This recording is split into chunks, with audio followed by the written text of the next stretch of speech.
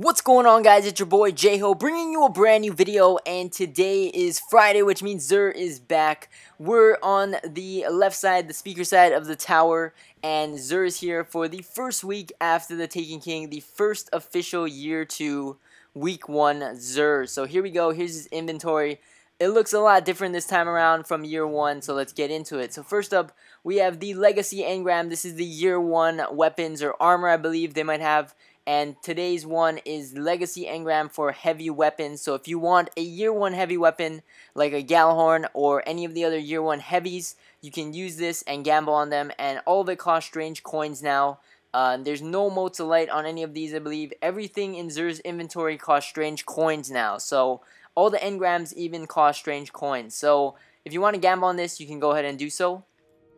Going into the armor pieces for the Titan, we have the insurmountable Skullfort helmet, and uh, it's year 2 version of it, so let's take a look. It has improved transfusion, which gives you kills with Stormfist, immediately trigger health regen, that was like before in year 1, but this time it also has respawn with full melee energy and gain a second melee charge, so you got two melees this time around, a little bit better.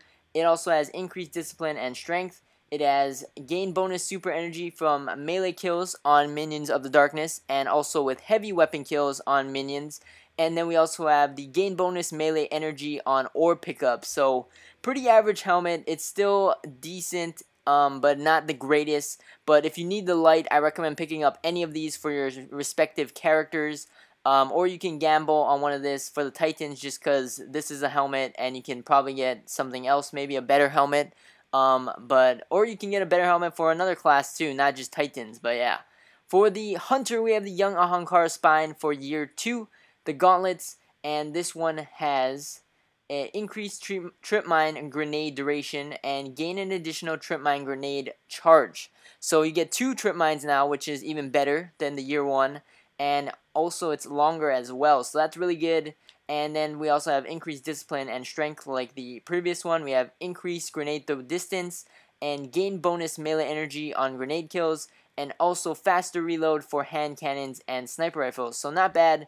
All these again can be infused uh, to increase its defense value as well. So if you want to boost it up higher to maintain your high light levels, like if you're in the 290s right now, uh, this isn't going to benefit you unless you infuse it. So you can go ahead and do that with some of your other legendaries or rare gear. And then for the Warlock, pretty exciting stuff. We get a new one right off the bat. So year 2 exotic right here, the Impossible Machines.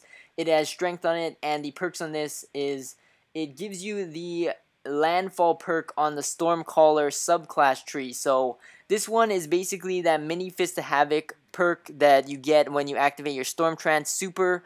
It creates that little Fist of Havoc on the ground under you. And then what this does is now you can choose another uh, node in that tree. So pretty good. I like that perk actually for PvE especially because I can just hover above people and activate my super. It does like a mini Fist of Havoc underneath me, and then I can just roam around and uh, shock people with the lightning. So it's really good. I like that a lot. I'm definitely uh, buying this. And then we got increased discipline and strength. We got increased melee attack speed, and we got bonus grenade energy on melee hits. We also have uh, increased reload speed for pulse rifle and fusion rifles, so that's really good. And then we got the exotic engram, and if you buy these, they will now yield a year 2 exotic, so I'm actually going to clear up some space and pick up like a few of them, maybe three or so, and then we'll open them after I finish uh, looking at his inventory. We're pretty much almost done though. We still got some uh, curios right here. We got heavy ammo synth, still 3 for 1. And then we also have the new 3 of coins consumable, which gives you uh, more chance to gain an exotic engram off of the next ultra that you defeat. So this is really cool. It's going to be cool to use in many different activities where you're fighting big bosses, ultras, and uh, you can get some exotic engrams and get some good gear from them too. So that's really good. So I'm going to go take a look at my inventory and we'll open up some engrams. So here we go, I bought three of those helmet engrams and we're gonna see what we can get out of these. I'm super excited. I want to get a new Taken King exotic so badly for any of my characters actually. Um, and we'll see what we get. So first one we get a Beyond Nemesis Year 2, not bad. I don't have any exotics. The only one I got so far is the ones that he's selling. I bought the uh, gauntlets, uh, so that's the only one I have, so that's good. Another Beyond Nemesis, that'll be good for trials and stuff. For the second one, we get a, another Beyond, that's, that's terrible, dude, that's terrible. And for the third one, we get, wow, I got three, that is the worst, that's the worst RNG ever, dude, that's terrible. I got three, dude, I'm so mad about that, dude, I'm so mad.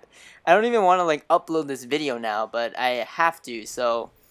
I'm actually I'm actually thinking about buying some more because that just happened. So I'm gonna cut it and we're gonna buy some more and then we're gonna open up some more. Alright, so here we go. I bought some more exotic helmet engrams. I bought about three more and we're gonna test our luck and hopefully we don't get a Light Beyond Nemesis because that's gonna be embarrassing. So let's get into it. Hopefully I get like the stag, that one looks cool, or something else. So here we go. For the first one we get a Helm of Inmost Light for the Titan. Uh, hopefully I can get a new one. Let's see. For the second one, we get Obsidian Mind Year 2.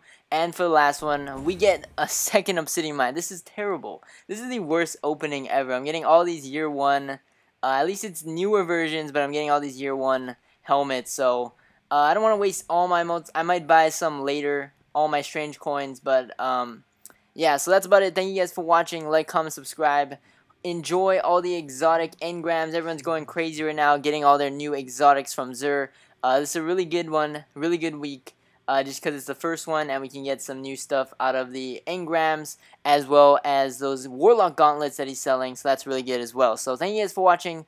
Like, comment, subscribe, stay tuned for more videos, and I'll catch you guys next time. Good luck on the raid, and peace!